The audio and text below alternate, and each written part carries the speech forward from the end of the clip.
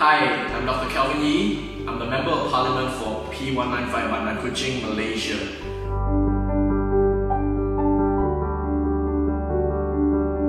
One of the boldest things we can do for cancer is to boldly invest into cancer education, to destigmatize cancer, to show support to the patients and to let them know that it is not a death sentence, that there is hope and there is treatment for this case.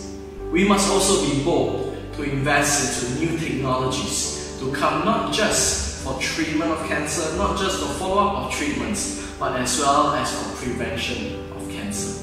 That is why all of us must be bold, courageous to build an ecosystem where patients and normal people in the public can feel safe to talk about cancer, to get information, to get education, as well as to beat this disease together.